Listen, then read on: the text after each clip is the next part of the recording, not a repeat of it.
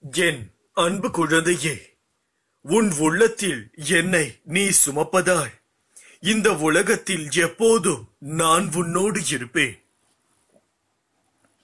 உன் துயரத்திலும் என்னை அரவணைத்துக் கொள் உன் தந்தையாக நான் உன் துயரத்தை தீர்ப்பேன். உன்னோடு விளையாட எனக்கு ஆசை. அதனால்தான் உன் சாயிதேவா சில தருணம் என் பிள்ளையை என் மடியில் அமர்த்திக் கொள்வேன் சில தருணம் உன்னை தூரமாக போ என்று நானே சொல்வேன் உன் மனதில் இருந்து கொண்டு விளையாடுபவன் நானே. எதற்கும் கவலை கொள்ளாதே. எல்லாம் கடந்து போகும். ஒரு அழகான தருணத்திற்கு விரைவில் என் லீலைகள் உன்மேல் மலர்களான சாரலை தூவ போகிறேன் ஆசிர்வாதங்களும் அள்ளித்தரப் போகிறேன் வாங்க தயாராக இரு என் கண்மணியே. இதோ என் சச்சரிதத்தை உங்களுக்காக என் முன்னால் திறந்து வைத்துக்கொள். நானும் திறந்து வைத்துள்ளேன். இந்த கடினமான நேரத்தில் பாராயணம் செய்வதற்காக நான் உங்களுடனேயே இருக்கிறேன். பயம் எதுவும் வேண்டாம் நாளையில் இருந்து பாராயணம் செய்ய ஆரம்பியுங்கள். நான் உங்களுடன் இருப்பதை நீங்கள் உணர்வீர்கள். உன் வாழ்க்கையில் உள்ள ஏக்கங்கள் சில விஷயங்கள் உன் கண்முன்னே நடக்கும்போது நமக்கும் இதை போன்ற விஷயம் எந்த நேரத்தில் நடக்குமோ நடக்காதோ என ஏங்கிக் கொண்டிருக்கிறாய். அவை அனைத்தும் அந்த ஏக்கங்களோடு இருக்க வேண்டாம். பொறுமையும் தன்னம்பிக்கையும் தான் தைரியம். அதை நீ தொலைத்து விடாதே. எப்பொழுது நீ எந்த பிரச்சனைகளை சந்திக்க நேர்ந்தாலும் அதை எதிர்த்து போராட கற்றுக்கொள். அப்போது அதுவே உன்னை காப்பாற்றும். ஆனால் எது நடந்தாலும் நீ எதை எதை செய்திருந்தாலும் அதை நீ உணரும் தருணத்தில் நீ அனைத்தையும் மன்னித்து உன்னை ஆசிர்வதிப்பேன். சகிப்புத்தன்மை இல்லை என்றால் உனது நிலைமை மிகவும் கவலைக்கீடமாகும். இதை மட்டும் நினைவில் வைத்துக்கொண்டு மகிழ்ச்சியாக வாழ்வதற்கு எனது நாமத்தை உச்சரித்துக் கொண்டிரு. நீ எவ்வளவு பெரிய வம்சாவளியை சேர்ந்திருந்தாலும் ஒழுக்கத்தோடும் சிறந்த நற்குணங்களோடு இருந்தாலும் வறுமையின் காரணமாக மிகவும் கடினமான சூழ்நிலையில் இருந்தாலும் உனக்கு அனைத்தையும் ஏற்றுக்கொள்ளும் மனவிற்கு மன தூய்மையையும் தன்னலமற்ற சிந்தனைகளும் எண்ணங்களும் இல்லை என்றால் எதையுமே நீ எதிர்கொள்ள முடியாது. சாதிக்கவும் முடியாது. மிகவும் முக்கியம் சகிப்புத்தன்மை. இது மட்டும் உனது வாழ்வில் இல்லாவிட்டில் உனது வாழ்க்கையே பறிபோகிவிடும். நான் பக்கபலமாக இருந்தாலும் நானே அனைத்திற்கும் சர்வாதிகாரி என்றாலும் அனைத்தும் எனக்கு கட்டுப்பட்டு இருந்தாலும் உன்னிடம் நிலையான உண்மையான பக்தியும் இருந்தால் மட்டுமே நான் உன்னை அனைத்திலும் இருந்தும் பாதுகாக்க முடியும். நம்பிக்கையும் சகிப்புத்தன்மையும் உனது தைரியத்தையும் நான் உன்னிடம் இருந்துதான் எதிர்பார்க்கிறேன். உன் வருகைக்காகவோ நான் காத்திருக்கிறேன். என்னை ஏமாற்றி விடாதே. நான் உனக்கு உனது மனநிலையை புரிந்து கொண்டு அழைப்பு விடுத்திருக்கிறேன். எனது அழைப்பை ஏற்றுக்கொண்டு எனக்கு பிடித்ததை எடுத்துக்கொண்டு விரைந்து வா. அப்பா உனக்காக எனது விழி திறந்து எனது தர்பாரில் உனக்காக காத்திருக்கிறேன். எனது அனுமதியின்றி எதுவும் நடக்காது. எவரையும் நெருங்க விட மாட்டேன். எனது அனுமதியின்றி எவரும்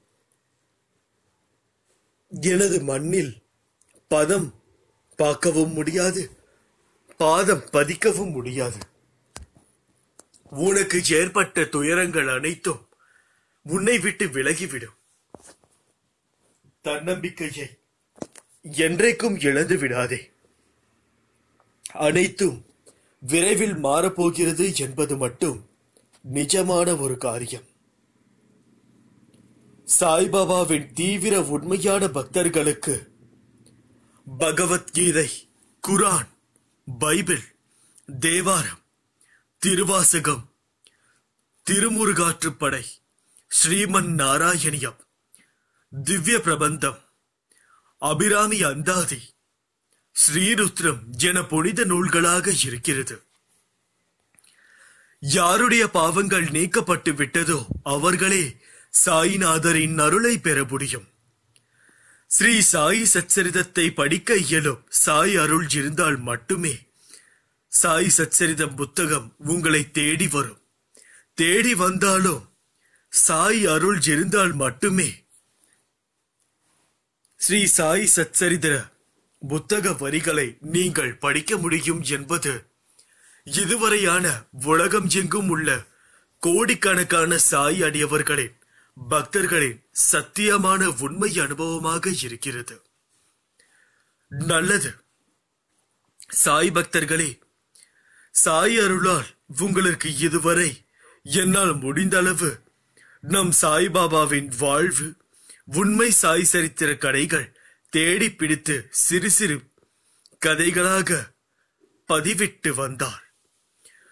உலகமெங்கும் உள்ள சாய் பக்தர்களான நீங்கள் அனைவரும் நாள்தோறும் ஆயிரக்கணக்கில் அதாவது ஆயிரக்கணக்கில் பெரும் ஆதரவு அளித்து வந்தார்கள். அது கண்டு அனைவரும் பெருமையும் உற்றார்கள். ஸ்ரீ சாய் சச்சரிதம் இத்திருப்புரு புனித புத்தகம் இந்த அற்புத அத்தியாய வரிகள் உங்களை என்னை நம்மை சாய்பாபாவின் இறையர்கள் சொர்க்க உலகத்திற்கே உங்களை கொண்டு செல்லும். நீங்கள் தினமும் சாய் சச்சரித்திர அத்தியாயங்களை மனம் குவிந்து படிக்கும்போது உங்கள் வாழ்க்கை உங்களுக்கு பிடித்ததாக மாறும். நீங்கள் இழந்தது அனைத்தும் மகிழ்ச்சியையும் பெறக்கூடியதாக இருக்கும். உங்கள் வாழ்வில் உங்களுக்கு வேண்டியது என்ன? வேண்டாதது எது என்று உறுதியாக முடிவெடுத்து செயல்படுத்துவீர்கள். இறுதியில் பேரானந்தத்தை சாய்நாதரின் சொர்க்க அரண்மனையை நீங்கள் இப்பொழுது வாழும் பொழுதே அடைவீர்கள். உங்கள் வாழ்வு ஒவ்வொரு நொடியும் ஆனந்தமாக மாறும். ஆனந்தமாக வாழ்வீர்கள். கோடிக்கணக்கான சாயாடியவர்களின் ஒருவன் நம் சத்குரு சாய்பாபாவின் திருமலர் பாதுகைகள் வேலைக்காரன் பக்தர் பகன் ஆவான் என்று அத்தியாயங்களில் ஒவ்வொன்றாக நாள்தோறும் இனிவரும் நாட்களில் வரும். நமஸ்காரங்களும் நமக்கு மிகவும் முக்கியம். அதை ஒவ்வொரு நாளும் நாம் தேடி படிக்க வேண்டும்.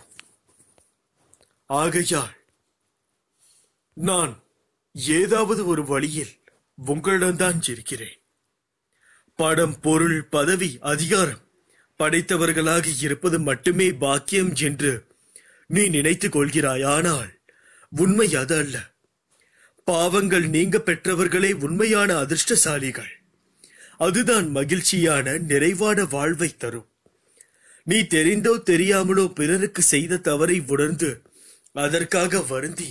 என்னிடம் வழிபடுகிறாயே. நீ என்று அப்படி வழிபட்டாயோ? அன்றே உன் பாவங்கள் நீங்கி நீயும் நல்வாழ்வு பெற ஆரம்பித்து விட்டாய் என்பது அர்த்தம்.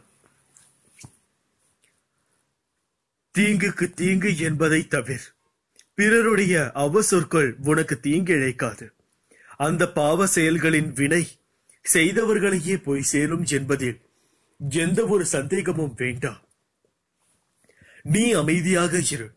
என்றும் தாழ்ந்து போக மாட்டாய். என் வார்த்தைகள் மீது மட்டும் நம்பிக்கை வை.